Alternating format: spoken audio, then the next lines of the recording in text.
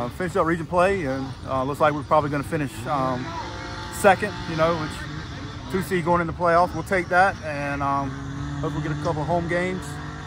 And going into next week, you know, we're going to play uh, three games, and we got to be, you know, starting to get in playoff mode and um, and getting ready for the playoffs. Yeah, I mean, we actually got Socastee on Monday, East Clarendon's a very good team on Tuesday, and then we play Conway on Wednesday. So three quality teams, you know, good chance for us to, to get out there, see some good arms, and uh, get ready for the playoffs.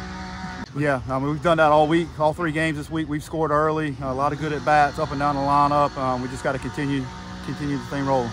Yeah, our, our approach at the plate was better in that fourth and fifth inning. Uh, we had some quality ABs, got some runners on, strung together a couple hits. Um, and honestly, I'm I'm more proud of the effort that we showed today, especially not giving up towards the end of the game. Um, so I want to just give kudos to West. West is a pretty good base, it's a pretty good baseball club, and I want to give kudos to my guys also battling and not just giving in in, in that fifth inning, mm-hmm. put some runs on the board, and at least get into the bottom of the fifth. So um, we have some younger guys playing tonight. I'm proud of them. They've made some great plays.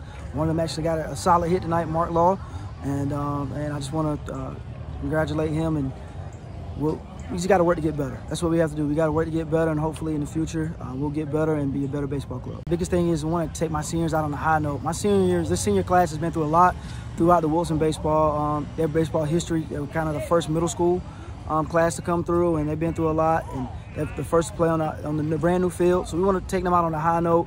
Um, we got South Florence on Tuesday and Dillon on Wednesday for senior night. And um, those last two games, we really want to play for our seniors.